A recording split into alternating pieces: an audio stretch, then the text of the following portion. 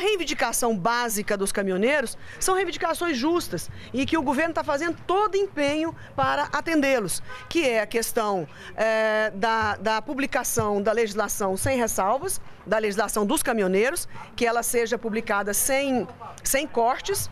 É, eles pedem uma prorrogação dos seus financiamentos da compra dos, dos caminhões.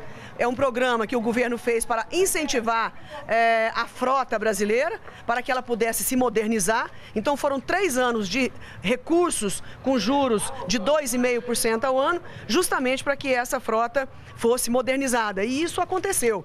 As pessoas investiram e compraram seus caminhões. É, e a, a, última reivindicação é com relação ao preço do diesel. É, o governo está bastante convicto o governo está bastante convicto é, da importância de manter a CID e de não flexibilizarmos com relação à questão fiscal. O que é bom para o Brasil tem que ser bom para todos os brasileiros e todos os segmentos. E nós temos a convicção de que todas as medidas econômicas que o governo tomou até agora, nós temos a convicção de que são corretas e nós vamos mantê-las. Mas isso não fecha o diálogo. Nós temos outras formas importantes de atendê-los. Por exemplo, as traders que são as grandes contratantes, é, embarcadoras, embarcantes que eles chamam. Elas, é, como? Elas, elas são, na verdade, as trades vieram todas para Brasília e estão totalmente dispostas ao diálogo com os transportadores. O governo não vai, o governo não vai pedir tabelamento, o governo não vai pedir isso aos empresários. Nós estamos vivendo no livre mercado. Então, mais espontaneamente, as traders querem dar uma sinalização aos transportadores de que o diálogo é possível mas ainda continua nessa conversa lá dentro. Mas é animadora. Eu tenho certeza que daqui sairá uma solução adequada e o ministro Rosseto, que está coordenando todo esse processo, deverá dar uma resposta a todos vocês. Eu gostaria só de registrar pelo setor agropecuário que, na verdade, nós estamos assistindo algumas coincidências. Por exemplo, a safra de soja no Mato Grosso, que é o maior produtor de soja do Brasil e do mundo, ela foi um plantio tardio e, portanto, também está atrasando a colheita. Se a colheita tivesse começado alguns dias antes, o plantio alguns dias antes, talvez nós não estivéssemos vivendo é, esta, esta greve.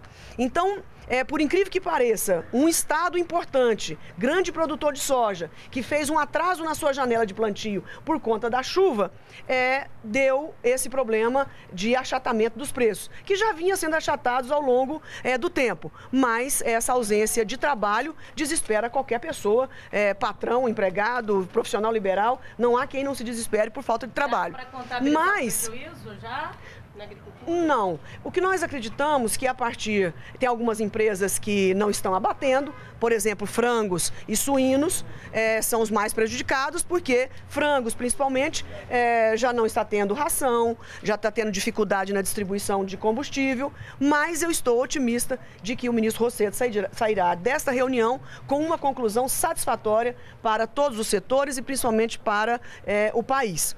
Outro ponto importante é que, além desse atraso na, na colheita da soja, nós temos que lembrar que a logística brasileira também está está se desenvolvendo e mudando de lugar. Se nós considerarmos apenas três modais, a BR Cuiabá-Santarém, a ferrovia Norte-Sul no Tocantins e a ferrovia que sai de Rondonópolis, a LL, até Santos, fez com que o transporte brasileiro se modificasse.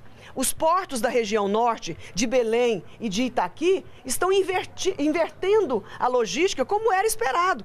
Que essa demanda venha para a região sul, porque acima do paralelo 16 já está produzindo 56% de toda a soja e milho do Brasil.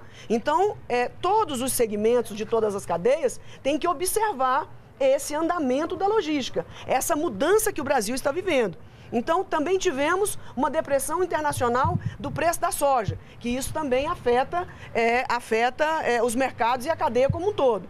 O que eu estou querendo dizer é que nós estamos vivendo um problema focado especialmente na soja e no milho, é um problema estritamente de mercado, mas isso não significa que para essa categoria que está devendo financiamento e que está passando dificuldades, como são os caminhoneiros, que eles não possam ter um alento, uma mão estendida do governo para solucionar os seus problemas. Muito obrigada.